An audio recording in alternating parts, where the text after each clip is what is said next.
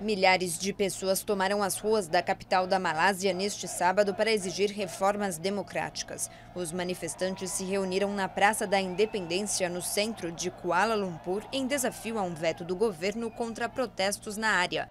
A proibição levantou dúvidas sobre a promessa do primeiro-ministro Najib Razak de expandir as liberdades civis. As forças de segurança usaram gás lacrimogênio e jatos d'água para dispersar a multidão. Pelo menos 222 pessoas foram detidas. Este foi o segundo ano seguido que policiais da Malásia enfrentaram uma passeata organizada pelo movimento pró-reforma Bersi. Um protesto do grupo no ano passado terminou com 1.600 detidos. O Bersi e a oposição exigem reformas eleitorais para acabar com o que chamam de décadas de manipulação da coalizão governista que quer se manter no poder.